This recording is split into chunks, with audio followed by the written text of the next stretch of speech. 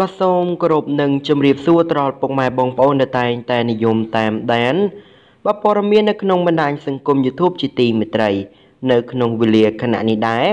ខ្ញុំបាទលើកយកនៅអត្ថបទព្រមានថ្មីមួយទៀតហើយដែលមានចំណងជើងថា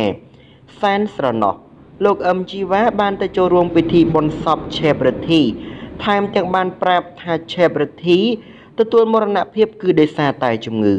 តែមុននឹងឈានចូលត្រង់ខ្លឹមសារនៃអត្ថបទខាងក្រោម បាទសូមពុកម៉ែបងប្អូនកុំភ្លេចចុច Subscribe like និង Share ម្នាក់មួយដើម្បីទទួលបានព័ត៌មានថ្មីថ្មីជារៀងរាល់ថ្ងៃពី Channel របស់ខ្ញុំបាទមហាជនក៏ដូចជាទស្សនិកជនទូទៅពិតជាបានជ្រាបរិញមកហើយថាកាលពីយប់ថ្ងៃទី20ខែតុលាឆ្នាំ2020ម្សិលមិញនេះមានរឿងដ៏គួរឲ្យរន្ធត់និងផ្អែបអល់យ៉ាងខ្លាំងមួយបានកើតឡើងសឹងតែមិនគួរឲ្យជឿក្រោយទទួលដំណឹងថាលោកស៊ឺសុភ័ណ្ឌរិទ្ធី គណៈកម្មការដ៏ល្បីឈ្មោះនៅក្នុងកម្មវិធី Master Chef ខ្មែរបានទទួលមរណភាពហើយដោយសារជំងឺ ក្នុងនោះយោងតាមកណនី Facebook មួយ បានបញ្ជាក់បន្ថែមថា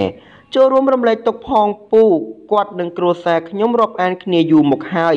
ចេញចូលផ្ទះដូចបងប្អូន ពេលទទួលដំណឹងមួយនេះគឺពិតជាសោកស្ដាយខ្លាំងណាស់សូមពូទៅឲ្យបានសុខគាត់ទៅតែខូចមុននេះបន្តិចទេ ក្រោយទទួលដំណឹងនេះភ្លាមធ្វើឲ្យទស្សនិកជនទូទៅសម្ដែងក្តីសោកស្ដាយយ៉ាងខ្លាំងហើយក៏មានអ្នកខ្លះទៀតចូលខមមិនថាលឿនពេកហើយមិនគួរសោះលោកអើយចូលចិត្តគាត់ជាងគេផងខ្ញុំសោកស្ដាយណាស់ហេតុអ្វីគាត់ទៅលឿនម្លេះហេតុអ្វីទៅគាត់ជាឆេបដ៏ល្អម្នាក់ក៏ជា idol របស់ខ្ញុំដែរចង់ប្រាប់ថាទោះបីគាត់កែកដាក់បេក្ខជនយ៉ាងណាក៏យើងគួរមិនគួរស្អប់គាត់ដែរហេតុអ្វីលឿនយ៉ាងនេះ ងើបមកវិញមកខ្ញុំចង់ឃើញអ្នកម្ដងទៀត idol គាត់ស្លាប់ហើយចូលចិត្តមើលគាត់ណែ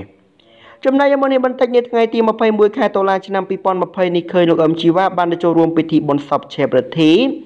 នៅក្នុងបរិយាមហាសានសុកសង្កាត់ក្រាំងធ្នងខណ្ឌសានសុកព្រមទាំងបានបញ្ជាក់នៅរឿងមួយដែលគ្រប់គ្នាពិតជាចង់ដឹងដោយលោកបានរៀបរាប់ថា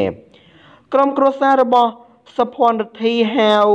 ឆេបរទ្ធីគឺគាត់សូមបដិសេធថាស្វាមីគាត់មិនមែនទទួលមរណភាព ដោយសារជំងឺក្រិនថ្លើមជំងឺរបេង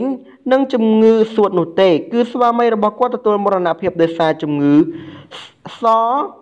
បាទបាទសំទោបាទសូមអធិស្ឋានបាទគឺដោយសារជំងឺលើឈាម និងសម្ពាធបាទស្ករខ្លាំងដូច្នេះសូមបងប្អូនមេត្តាជ្រាបជាដំណឹងដោយក្តីគោរពអឹមជីវ៉ាបាទរុងរឿង បាទអញ្ចឹងសម្រាប់អត្ថបទប្រមាននៅតកតងទៅនឹងអត្ថបទមួយនេះក៏មានតែប៉ុណ្ណឹងខ្ញុំបាទសូមអរគុណសូមគោរពលា